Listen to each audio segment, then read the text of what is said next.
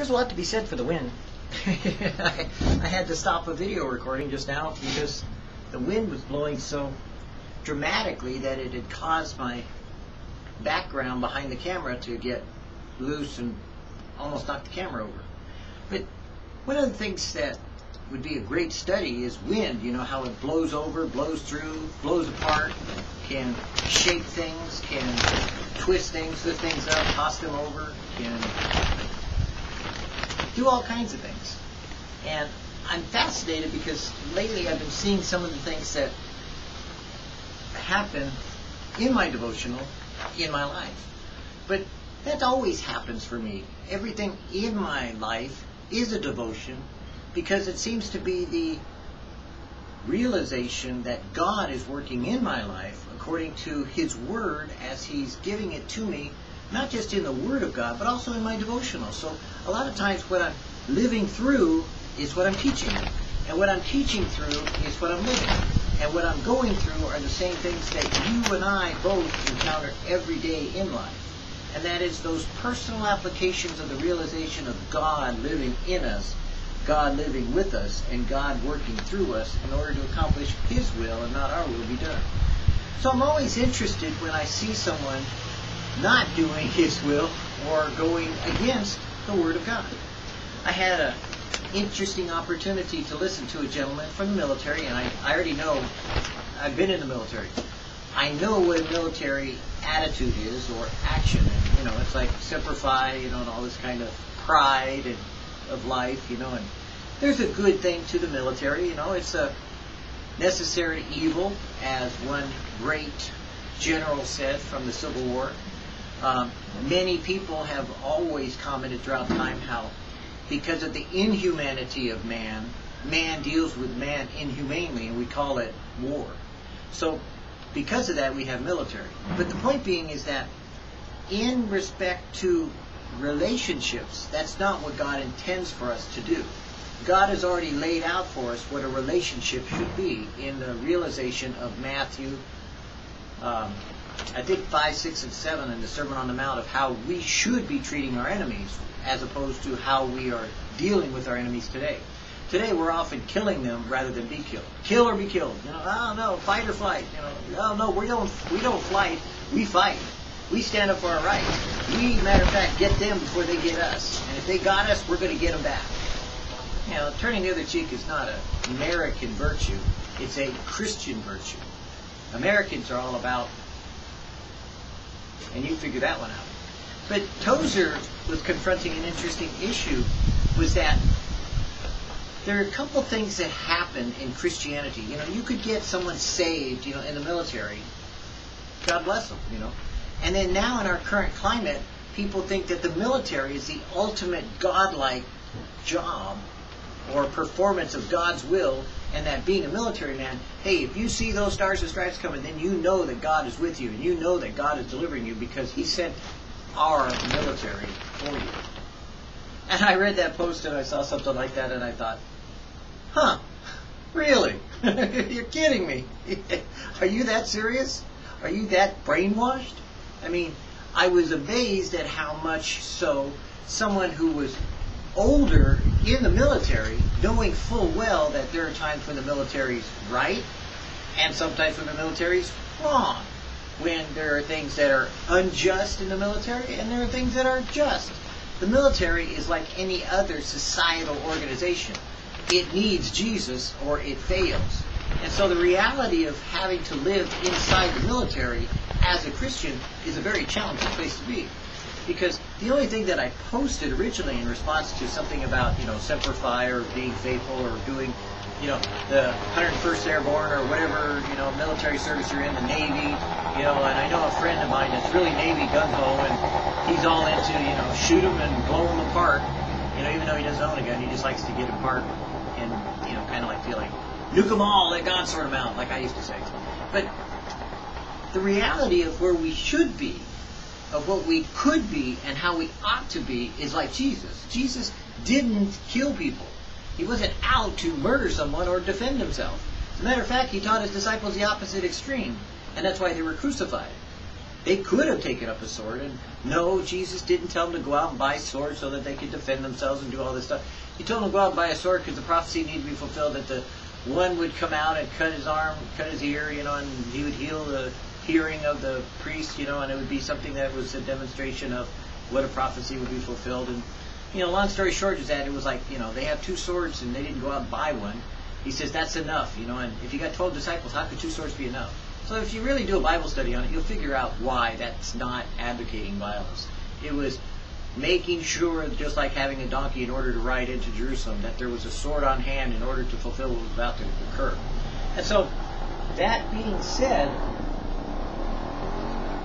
while we may have great respect for those men in service that are doing their part to ensure the security of some type, you know, for the nation, that doesn't mean that's the best allocation. And you know, that was what was the point being made. I said, you know, it's it's wonderful to be a man in the military, and it's wonderful to be, you know, under orders, but there are times where if you are given orders, you have the right to refuse an order in the military. According to the Uniform Code of Military Justice, if something goes against your principles, against something that you can demonstrate in court, of course, that it is absolutely wrong, you can go up the mast. You can go before the mast. You can you can go up the chain of command and fight not to do that part that you're being told to do. Good luck, but you know it's there on the books anyways. Well, the person took exception with that and said, "No, you know it's it's like you know, hey, we're we're we're godly and we're nations of godly men, you know, so we're we're God's army, you know." Um, and I just started smiling. I was like, "Yeah, right." whether we call it Vietnam or Afghanistan or Korea and all these places where we've gone in, you know, and went out and gone back in and went back out and did all these secret things behind the scenes, you know, and whether, whether we are using drones to kill innocent people as well as the victim, you know, of our attack, you know, because we're saying it's a godly war, you know. It's like, I don't think so. So I use the extreme example of, you know, like going to Megiddo, you know, like if you get orders to go to Megiddo, you know, I don't recommend you follow them. Of course, you know, you do God first and then follow your orders.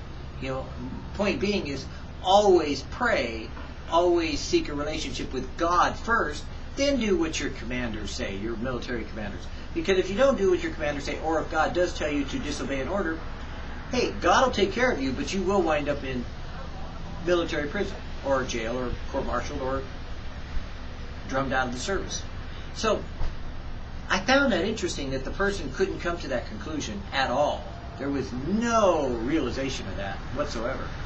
And I thought, that's interesting because there's also the same type of attitude that goes on in the Christian world, in the religious life, where we say, oh, you're disagreeing with me? Hey, don't judge me, brother. Huh, huh, I got my religion. Oh, you can't, you can't talk to me. Oh, no, no, no, no. Get back with that Bible.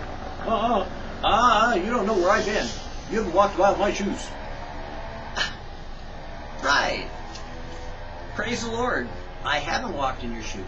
But you see, one of the things that I've always done in every video, in every comment, in every word that I'll put out there on the internet, and in every teaching and in every realization of God in my life, it's always one thing that it boils down to. And it boils down pretty simply to it. Whatsoever the Lord tells you to do, that you should do. Because if you're doing it without asking God, you're a fool because you're doing it on your own. And that's not a good place to be. But when you're doing it with God, if God has told you to, then you're on sound doctrine. You're on sound footing. You will have the winds and storms of life come upon you, like Jesus said, and your house won't be shaken. But if you're not doing the things that Jesus said, if you're not asking Him, seeking Him, knocking Him, knowing His voice, and hearing Him, and letting Him direct you, as He says He'll whisper in your ear, talk in your heart, be a still small voice, then guess what? Hello? You're doing it on your own. You're making up what you think you should do and then calling upon faith to make God do what you think He's doing for you. Wow. I don't know if that's like the deaf leading the blind or the blind leading the deaf. One of the two are really going to fall into the pit. The other one's going to follow right after them. Because it's kind of ignorant to think that we can make for ourselves determinations of realizations of how God is speaking by never asking Him and never hearing from Him and never talking to him and never getting a word from him. That's stupid. I mean, it would come, I wanted to say sublime idiocy, but you know, sometimes people think I use too big of words. But the reality of what we should be doing is simply this. I'm not judging you, bro. I'm just telling you, look, take a second look. Check it out. Did you pray about it? No? okay, you know. I used to have a pastor that used to teach me this methodology of how to counsel. It was very simple. I mean, he was very cut and dry about it, too. If you went in for counseling to him, the first question he asked you is, first of all, you know, are you are you living in sin? You know, no, I'm kidding. But are you living in sin? You know, if you're two people going in, believe me, he's going to ask you, are you married? You know, and then are you living in sin? You know, get out. You know, because until you're willing to get serious about it, you know, no counseling is going to help you. And the reality, what he would ask you is a pretty simple question. The first one was, did you read your Bible today? I mean, because to put it bluntly, if you haven't read your Bible, how are you hearing from God, period? I mean, sure, I believe that God can speak to you direct. So that is a Bible in and of itself in some ways. And, you know, if you explained it to Romaine, he probably would have agreed with you, you know, that God, you know, speaking to you, and, you know, and he'd take you through some other scriptures too, but I'll go with you on that. You know, if you talk to God and God told you to do it, by all means, go for it. He's the one who's going to justify you, or he's going to be the one to condemn you by way of, did he tell you those things to do, or did he not? And since he usually doesn't contradict Scripture, although I can pretty much say there's some pretty interesting places where it looks a little contradictory, depending on your perspective. Yeah. Be careful that you'll find yourself in contradictory circumstances and, and situations, even as Abraham did when he was told to go and offer his only son, Isaac. First of all, he should argue with God and say, What do you mean, my only son? My only son? That's not my only son. But he took his son, the son of promise, as we know, and we learned a lot from it. And the demonstration of it was that it didn't work out the way he thought it would, but it worked out the way that God wanted it to. And then by faith, we can accept the fact that Abraham knew God was going to take care of it no matter what way it went and how it worked out to do what God wanted him to do. And so the same is true in our life, is that we don't know what God is getting to or getting from us or wanting from us unless we talk to Him, unless we direct the attention and the focus of our spirit in every circumstance and situation of our life in order to ask Him, Did you want me to go that extra mile? You know, and then the second mile, and the third mile. Did you ask Him along the way? You know, I mean, to put it bluntly, it's not just simply about, hey God, you know, there you are, and here I am, and I'm on my way, and guess what? You find me whenever you can, maybe on Sunday. No. And that's kind of what Tozer is driving at in his teaching. He's trying to get us to the realization that, hey, get a grip, get a handle on this, understand its relationship, and it's not about, no, brother, you can't judge me. No, bro, you know, get away from me. Oh, no, don't talk to me, man. You don't know where I've been. You're right. I don't know where you've been. I don't want to know. Whoo, it stinketh. But the point is, the direction you're going to, we can talk about and carry it through to see where it will go if you're heading in that direction. Because I can ask a person very clearly, hey, look, have you thought it out? What is the extension of what you're doing? You know, if you're believing in this part of legalism, then guess what? What are you going to get at the end of legalism? How many laws are 613? Did you check and see if there were more than that? Because there are. Are there more than 613? Of course there are. They were made up in the first place. Hello? So, we can add some more. And that's what they do. And they add more and more and more. And it gets pretty crazy. Matter of fact, that's kind of what the government does today. Adds more and more and more. Well, we got a situation here. We got to figure out how to interpret it. You know, so we got to go to the court, Supreme Court. Supreme Court says, no, that's not a good law. Well, then we'll make another law and change that law so that we can make another law. And that's how come sometimes people are going over this abortion issue over and over and over again. They just keep doing more laws. They're never going to solve it. You don't legislate morality. You legislate law. And that's what law does. Law is legislature of law. That's it. Law after law after law after law after law. That's what it's going to do. It's called governance. But when you have the right attitude in your heart, then you need no governance. You are free from the legality because the attitude will cause your direction to be in the right way, and you'll not break those laws that quote unquote governance has placed over you in order to create for you a means of dealing with society that you live in according to those legislated governances that you call the law. And so Tozer addresses what we see in life today. Polite society, religion must not get personal. No, no, no, no, no, no, no. And their words seem to them as idle tales, and they believe them not. Luke 24:11. I remind you that it is a characteristic of the natural man to keep himself so busy with unimportant trifles that he is able to avoid able to avoid settling the most important matters relating to life and existence. Men and women will gather anywhere and everywhere to talk about every subject under the latest fashions, up to Plato and philosophy, and up and down the scale from football to baseball to basketball to what's she wearing, what's he wearing, who said what, did they do this, what's the latest episode of General Hospital or One Life to Live. But God knows what happened in church. I don't know. But, you know, somewhere along the line we forgot what the pastor said. We forgot what we were studying. We don't even have a daily devotional. But if I did, I'd tell you what it said, word for word. Now, how did it apply? Oh, I don't know. I don't apply those things. I just read them. Oh, okay. What did God tell you today? You know, there are people that literally will not get out of bed until they roll over, look up at God, and say, God, I'm not getting out of this bed you tell me to. Literally. That's the way it should be. Because you see, you should have an ongoing relationship of communication, not just a, oh, well, you know, I'll bless the food before, or I'll bless the food after, or I'll say grace, or I won't say grace, or I'll be thankful, or I won't be thankful, or I'll, you know, daven and whip and whap and, you know, get down on my knees and, you know, do my prayer shawl or do my prayer rug, either one, you know, and find myself, quote unquote, religiously doing something that I'm still not connected. So you see, the interpersonal relationship is one of interconnectivity. If you're not getting an answer, you're not getting a relationship. That's the way it works. There has to be that two-way street, not just a one-way casting out of something that you're verbalizing that you say is prayer. There has to be more to it than that. It should be communicative, not just directive. They talk about the necessity for peace.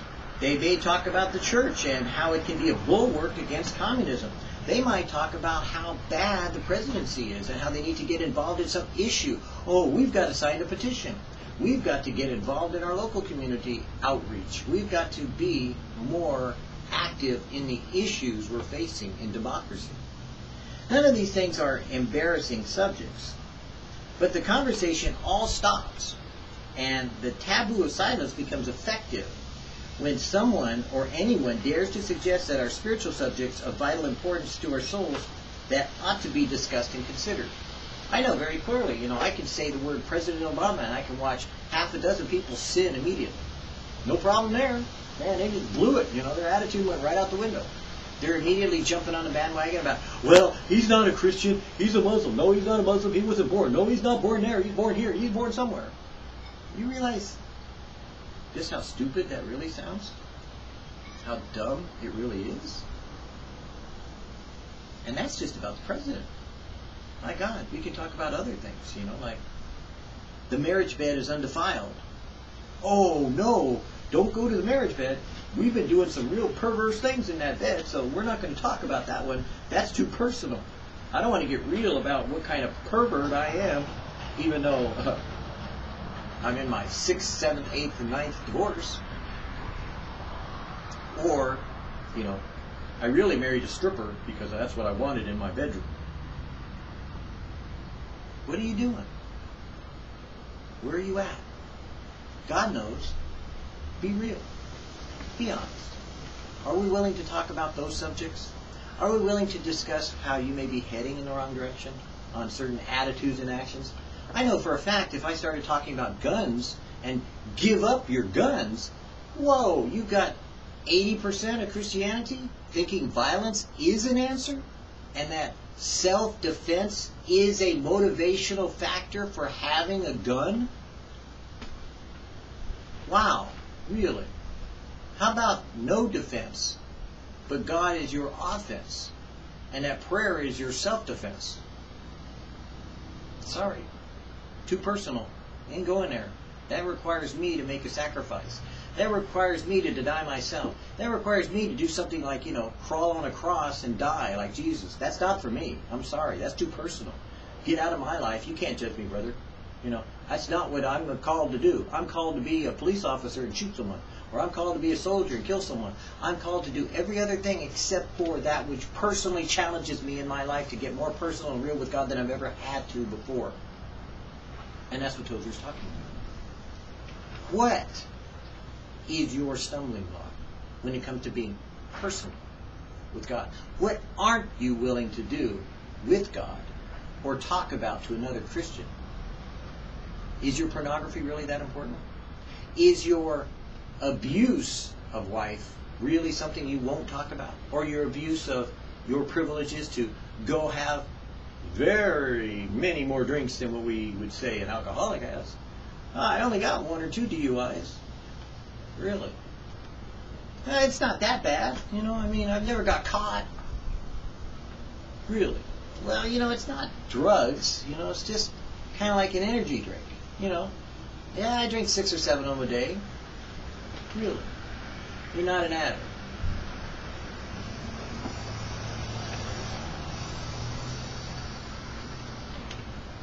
These are the things that souls ought to be discussing and considering. There seems to be an unwritten rule in polite society that if any religious subjects are to be discussed, it must be within the framework of theory. And, oh no, never let it get personal. One of the things that I hated about my early Christian walk, and I hated it with a purple passion. I mean, purple passion. But I did it. And sometimes I still do it. I still hate it.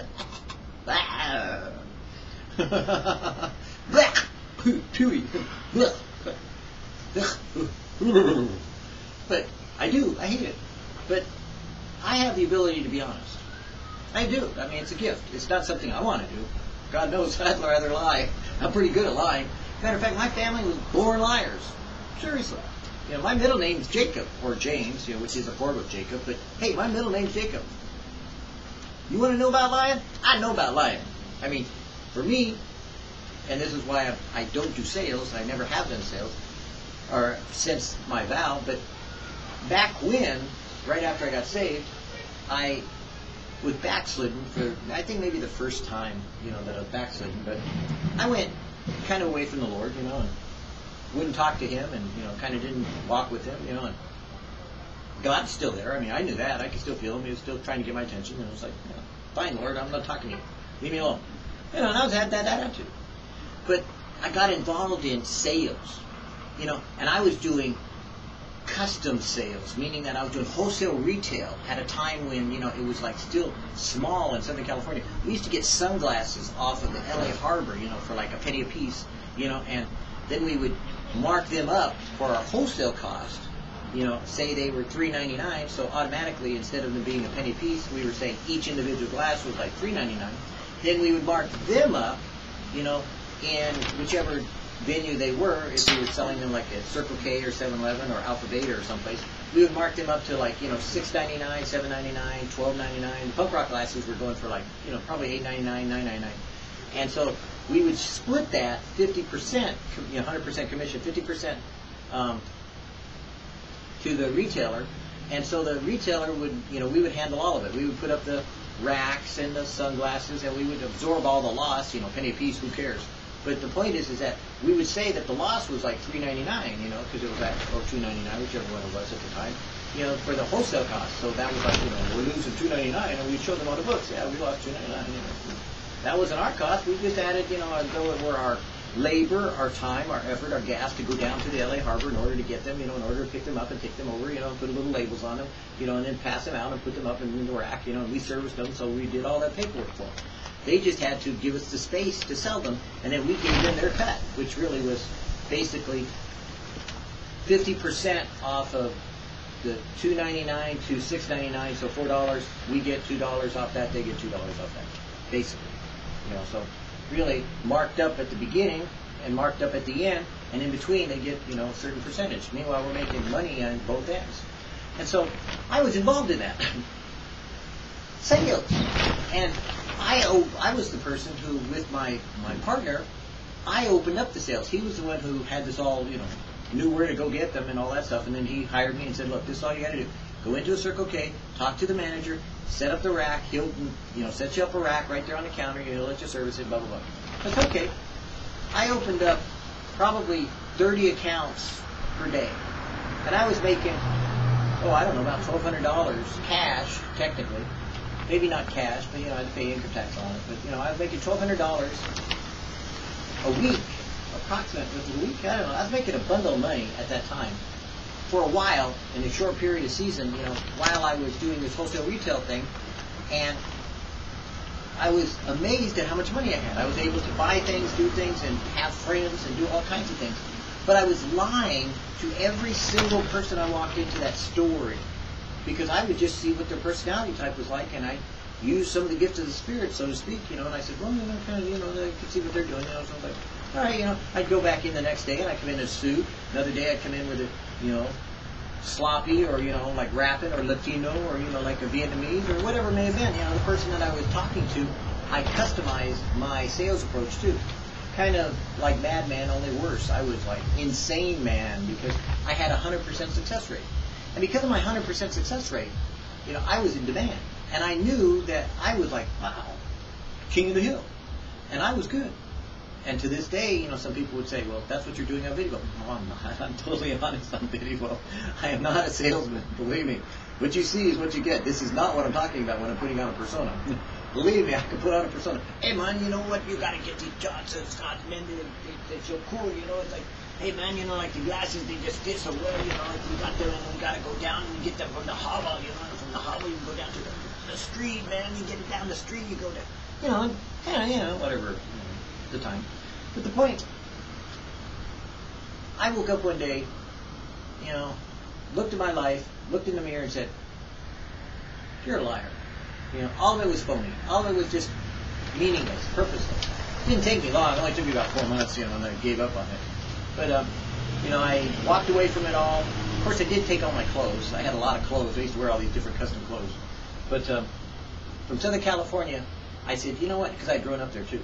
I was superficial. I was one of those Southern California sons, you know, and just like every other one of them that was born down there, just worthless, meaningless, didn't know the meaning of the word work. Because quite frankly, most people down in Southern California are superficial. That's all they are, is just surface, no depth. So I left all that and went to Oregon. And boy, did I get a rude awakening. God decided to take me into work. And I loved it. I found out and made for my way as a young man the meaning of life in hard, sweaty, working labor. But, you know, I had turned my back on that type of sales position, that type of work, that type of environment, and said I would never sell again. And to me, every salesman is a liar. You know, I don't care what kind of salesman you are. I'm just, you want to have a Bible study on it, you're a liar. Let's be honest. But you know, you could you could try to convince me that you're not. You know, I'll go okay. You know, we could take some time to get you to the place, but you're going to agree with me sooner or later. I don't care if you're selling Amway or some Christian product. You know, salesmen are liars. Yeah, they are. Oh, yeah. no problem there. And a lot of people are because they put up with so much. But my point being was that that type of environment, I swore up and down I would not lie. And from that moment on, I swore I would never and I made a vow to the Lord that I would never do sales, and I haven't. I won't do sales. I won't sell things. I won't, you know, exaggerate them. You know, I won't create ad copy or do anything for them in that way. That's, you know, misleading or misrepresentation. Because it taught me just what the meaning of that was, and I was so good at it that I hated myself in the end for it. But that's why there has to be that type of personification, personalizing of conversation that we have to be able to get to the reality of talking to each other face to face, your place, my place, you do it, I do it, we get it, got it, so that we'll go forward and be real with our God, as opposed to being, you know, yeah, you know, there was such a shock. I was so amazed, you know. Gosh, did you hear the latest? The pastor ran off with the secretary. I never saw it coming.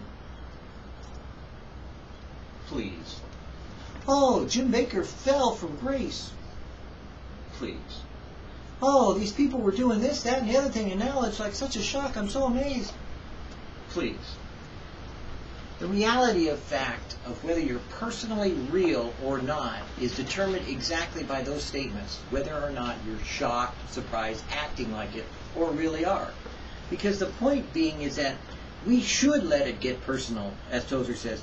There ought to be souls that we could discuss with and share our intimate, most deepest problems and not shock the shorts out of everyone. Because that's what happened when I got to Oregon was that I was brought to a place where God said, now, Michael, I want to use you in a way that you never thought of being used before. I want you to tell your story. And I went, and at that time I was still shy, so I didn't do much talking in the churches. And the church I went to was a little tiny community church. And so God said, you know, I want you to open up to these people. And I went, uh-uh. No, no, no, uh-uh. not me, man. Wrong person. Because I'd gone through some dramatic surgeries where they had cut open my gut, you know, and that's kind of what this is. It's like, you know, there's kind of like this big old scar right here, you know, and it's like, you know, big old, you know, took some big old pliers, pulled them back. Well, the bottom line is that I have an ostomy. I have a bag on my side. I have a, what's called an ileostomy. That means that, you know, for a lot of men, their life ended because there are a lot of men that are weenies.